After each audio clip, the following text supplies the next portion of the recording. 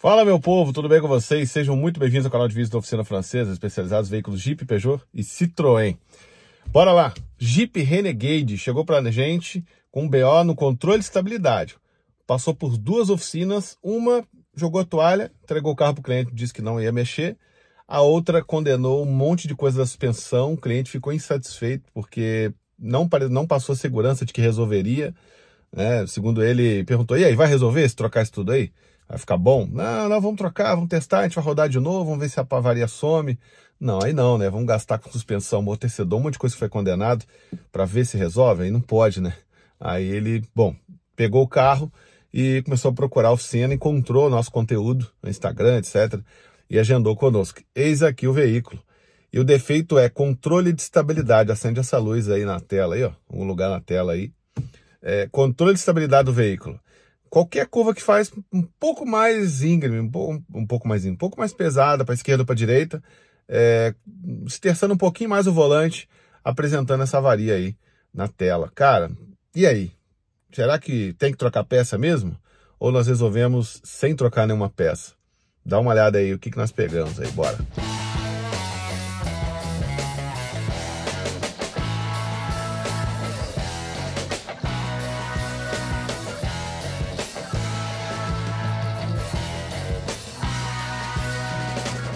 Fala meu povo, tudo bem com vocês? Sejam muito bem-vindos ao canal de vídeos da Oficina Francesa, especializada nos veículos Peugeot, Citroën e Jeep também. Você tem um Jeep Compass Renegade Commander, uma Fiat Toro, que é a mesma plataforma, e um veículo Peugeot Citroën ODS, é só fazer o agendamento, em algum lugar dessa tela vai aparecer o nosso número. Tem um tempinho que a gente está um pouco subido no YouTube, né? Pois é, a correria é tanta, entrar no treinamentos online, muita coisa acontecendo, as duas oficinas bombando, como vocês estão vendo aí e aí acabou não conseguindo nem parar para gravar conteúdo. Mas com a ajuda da nossa equipe, né, o Renan, o Anderson, que ajudam, nos ajuda a gravar os conteúdos, a gente está sempre aqui também trazendo conteúdos. Então, vamos tirar esse jejum de alguns dias e vamos trazer um novo conteúdo. Dá uma, dá uma olhada no que nós temos desta vez para você curtir aí. Bom, aqui com o Renegade já tudo no esquema. Aqui no mapa de todos os módulos, ó, a gente tem aqui na varredura dois módulos com atualização aqui evidente. Primeiro nós vamos verificar o ABS, tá? E o ABS ele tem aqui ó, uma atualização a ser feita, apesar de não mostrar lá fora, aqui dentro tem 8B01, 8801, quer dizer, ele vai atualizar para uma nova versão, tá? É... Se você analisar aqui o boletim técnico, olha que interessante esse carro tem. Qual era o problema do veículo? Quando você faz alguma curva fechada, mesmo que a velocidade seja baixa, ele acende o controle de estabilidade, tá? Infelizmente eu não eu acabei não gravando esse teste e agora ele já está parado aqui, aparelhado aqui, eu não vou poder gravar de novo, mas ele acende a luz de controle de tração. Essa é a reclamação do cliente, tá? E aí é interessante, né? Você entra no modo de ABS, tem uma atualização. Você entra na atualização, nesse caso aqui, ele gera um boletim técnico para dizer o porquê dessa atualização. Esse aqui está em inglês, mas vamos botar o, o verbo to be aqui para funcionar. É, o book is on the table aqui, ó. Você tem aqui, ó, the traction control lights, ó, a luz de controle de tração comes on, ou seja, fica ligada quando você faz tight turns, ó, quando você faz curvas fechadas é, no veículo equipado com AWD, All Drive, All Wheel Drive, ou seja, 4x4, tá? Esse é um carro Trail, Trailhawk, tá? É uma versão para trilha. A gente fala que Renegade é Jeep de shopping, esse aqui é preparado para trilha, roda elevada, pneu é, daquele pneu é, dentado, né? É, é próprio para barro, como é que chama? ATR. ATR, pneu ATR, isso aí. Uh, tem 4x4, tem cardan, é, motor diesel. Esse é um carro para trilha, tá? Esse, a pessoa compra aquele 1.8 e-torque e quer botar na trilha, cara. Aquilo não é carro para isso, aquele é Jeep de shopping mesmo. Esse aqui é próprio para trilha. Tudo bem que tem carro superior a isso para trilha, mas é um carro que vai tranquilo. Eu já peguei aqui a reclamação do cliente, ó. Olha aqui, ó. Ele está acendendo a luz de controle de estabilidade do carro sempre que faz alguma curva ou lombada intermitente. É exatamente esse o defeito que está aqui no boletim técnico. E tem outros também, tá? É, ele não desaciona, desengage, ó. ele não retira o freio de estacionamento traseiro quando você acelera é, usando alta aplicação, ou seja, você dá o, é, o toque no acelerador e soltar, né? Ele está dando essa, essa informação também. São as mesmas condições de sintoma. Ó. E também tem aqui, ó, a chave trava no comando, você não consegue tirar. Ah, o Electronic Park, o freio, o freio elétrico não solta automaticamente, enfim são alguns sintomas que são problemas que não são problemas do carro, ou seja, não tem nada para trocar. Nós já investigamos ângulo de volante poderia ser, investigamos toda a parte de se tinha algum detalhe de suspensão, uh, que pudesse desequilibrar o carro. Verificamos a parte de medida de pneu. O pneu ainda é original do carro ainda. Esse carro está quantos mil rodados? Dá uma olhadinha para mim, Will, por favor. Will vai ver ali. 131. 131. Deve ter trocado pelo mesmo modelo Scorpion, porque os pneus são Scorpion ainda. Esse aqui, apesar de estar mais gasto. Enfim, tudo que podia ser, até, um, sei lá, uma calibração muito discrepante de um para o outro, alguma coisa errada, e não. Um carro não tem nada de errado, problema de sensor de roda, nada. Até porque o problema é só na curva fechada. E tá aí. Achamos que pudesse ser o giroscópio, que é aquele sensor igual o celular tem, que ele identifica as posições que você está na mesa. Esse, esse, esses veículos com ABS, eles têm um sensor dentro do ABS que quando você faz curvas fechadas, a força G, né, aquele, aquela força que faz com o carro fechando curva, o modo de ABS percebe igual você igual o corpo humano percebe. E ele identifica para calcular é, se você está fazendo uma curva muito fechada na certa velocidade para ele entrar o controle de tração. Tudo isso nós verificamos e estava ok. Então é um problema de software, tá? Aqui nós já informamos para o cliente, ele autorizou fazer. Nós vamos seguir aqui.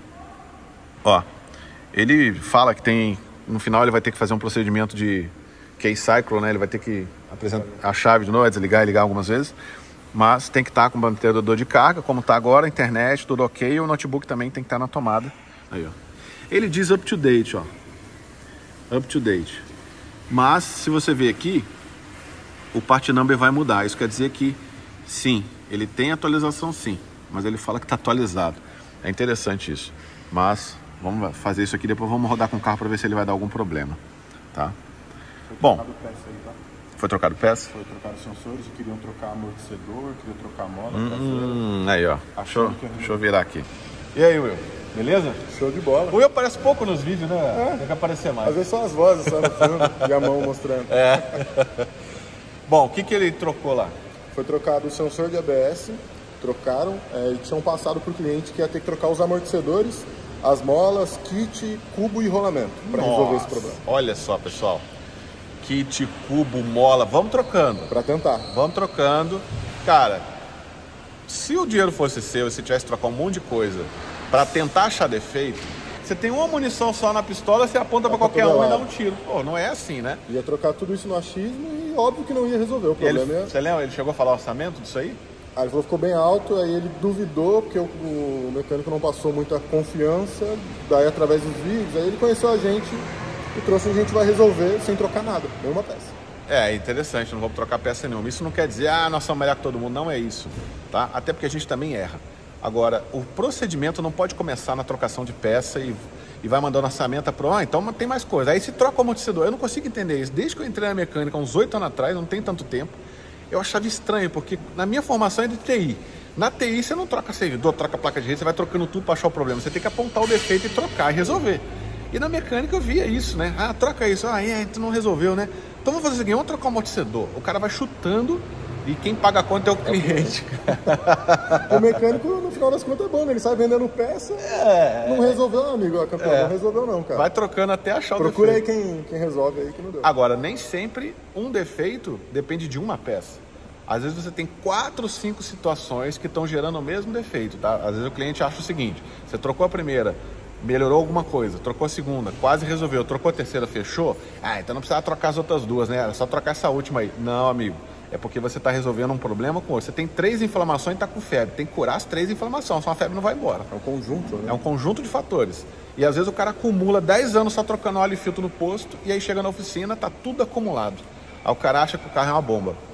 É, cada caso um caso mesmo, mas aqui não. Sai trocando um monte de coisa para resolver um problema que é de software, tá? Então fique atento, a linha Jeep precisa de conhecimento. É um excelente carro, tem muito no mercado, muito lucrativo, ticket alto bom e os donos gostam do carro. Tem o carro e também gosto. Tem Peugeot, tem, tem Citroën, tem o Jeep.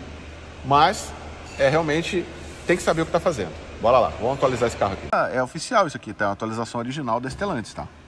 No grupo do, do FCA. Bom, tá começando, ó, baixando o arquivo, Start em Flash.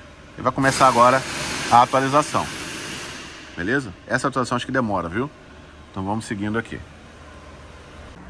Agora ele está na etapa de verificação do checksum, ele confirma né, se o arquivo foi baixado corretamente. O checksum é uma verificação da integridade do download, se o download veio e não corrompeu no, no momento que ele estava sendo montado no arquivo, né?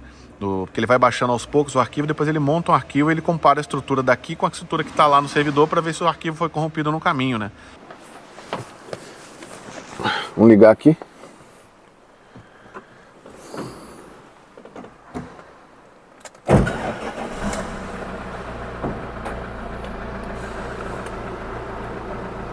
O capô tá aberto. É, puxa aí, fechou uma trava.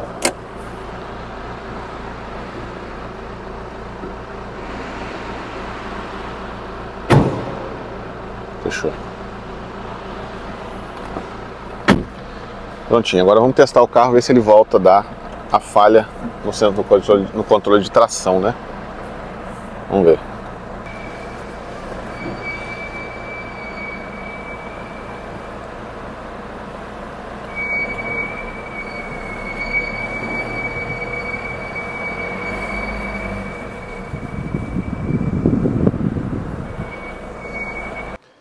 Aí, ó. Acabou que eu estava fazendo o diagnóstico de um Compass lá no fundo. E o Renegade acabou de voltar do teste. O Will, né, aquele que estava no vídeo agora há pouco aqui, o chefe de pátio, ele já falou que resolveu o problema. Fez a curva fechada, quase cantou pneu para testar bem mesmo. Zero de problema agora. Acabou o problema do sistema de controle de tração ficar acendendo a lâmpada, né? Cara, tá vendo só? Se não dominar o conhecimento, se não tiver acesso ao conhecimento, a Jeep ela vai virar devagar na oficina, tá? Bora lá. Vamos agora para um Compass aqui, de atualização. Esse carro aqui, ó, ele tá, é um Trail 4x4, um veículo turbo diesel. Ele está apresentando falha no sistema de controle de, de 4x4.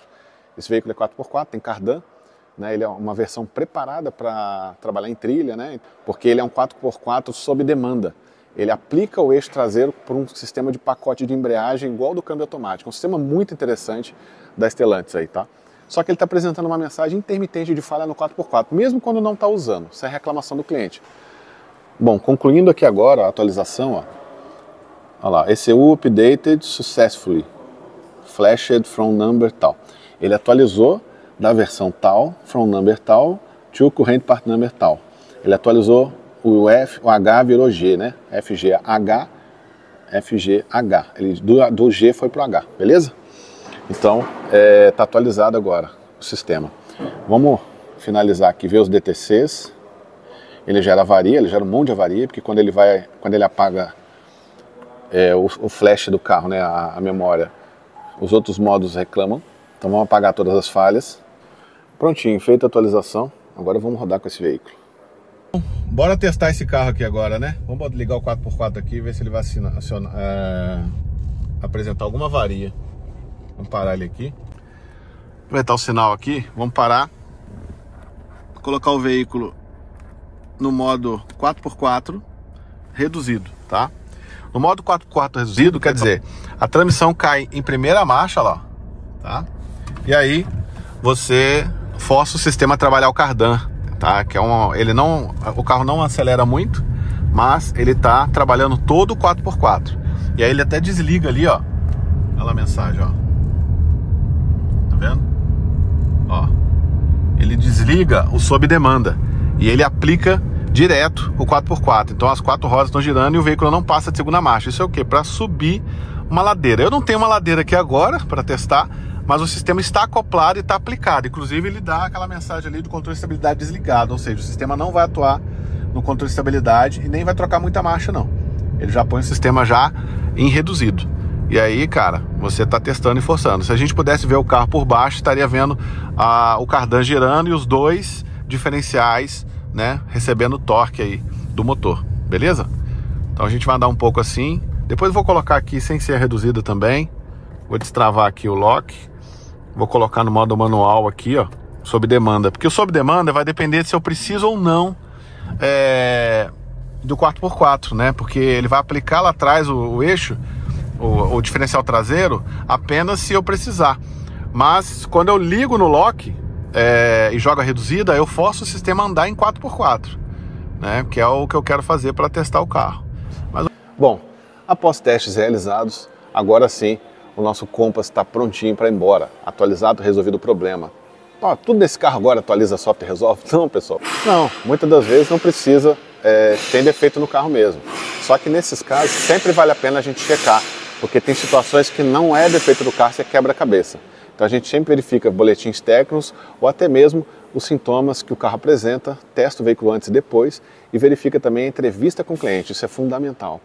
Quando começou o defeito, é, alguém já tentou alguma coisa nesse carro, foi para alguma oficina, o que, que o cliente já é, tem, vinha tentando fazer para resolver o problema e, o que, e, e como estava o veículo antes do problema apresentar. E aí você entra com a linha de raciocínio diagnóstico, tá? Gostaram, pessoal, do conteúdo de hoje? Bacana, né? Esse episódio ficou legal. Então vejo vocês no próximo episódio. Faça o agendamento do seu veículo Renegade, Compass, Commander, Rampage, Toro, linha Jeep e a Toro, no caso, a plataforma Jeep. E também a linha Peugeot Citroën DS. É só agendar aí nos números aí. São Paulo, são José dos Campos, né? O Vale do Paraíba capital manda muito veículo para a gente, até mais longe que isso, Campinas, região toda lá de cima também e até é, lá para baixo, quase na divisa do Rio de Janeiro. E em Volta Redonda, recebendo veículos do, da Sul Fluminense do Rio de Janeiro e também do Rio de Janeiro capital e até mesmo Niterói, a galera lá para cima também manda carro para gente. Então faça o seu agendamento. Até o próximo episódio, muito obrigado, fique com Deus, aperta o like antes de apagar a luz e até a próxima. Fui, tchau, tchau.